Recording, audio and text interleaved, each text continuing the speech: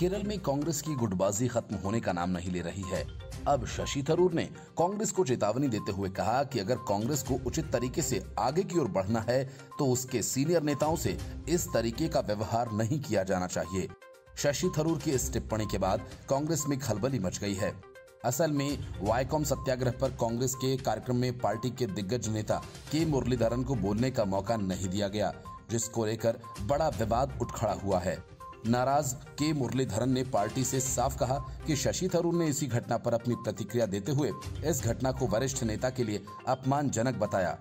शशि थरूर ने कहा कि कांग्रेस सांसद के मुरलीधरन सीनियर नेता हैं, वे केपीसीसी के पूर्व अध्यक्ष हैं। पार्टी में उन्होंने अहम भूमिका निभाई है। ऐसे सीनियर व्यक्ति का अपमान सही नहीं है। शशि थरूर की ये टिप्पणी तब आई है जब कांग्रेस के दिवंगत लीडर और पूर्व मुख्यमंत्री के करुणाकरण के बेटे मुरलीधरन ने कार्यक्रम में बोलने का मौका नहीं दिए जाने पर असंतोष व्यक्त किया। के मुरलीधरन ने कहा कि उनको जानबूझकर नजरअंदाज किया गया।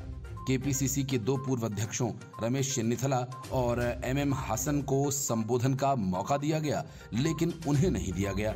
मुरलीधर ने यह भी कहा कि उन्होंने अखिल भारतीय कांग्रेस समिति के जनरल सेक्रेटरी के सी वेणुगोपाल और केपीसीसी के अध्यक्ष के सुधाकरण से इस बारे में बात की है।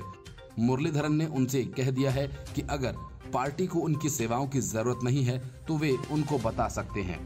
चेनिथला ने इस पर कहा कि उनको इस मुद्दे की आवश्यकता नहीं के मुरलीधरन को संभवतः इस वजह से बोलने का मौका नहीं दिया गया होगा क्योंकि पार्टी चीफ मल्लिकार्जुन खड़गे को तुरंत लौटना था। Report news of India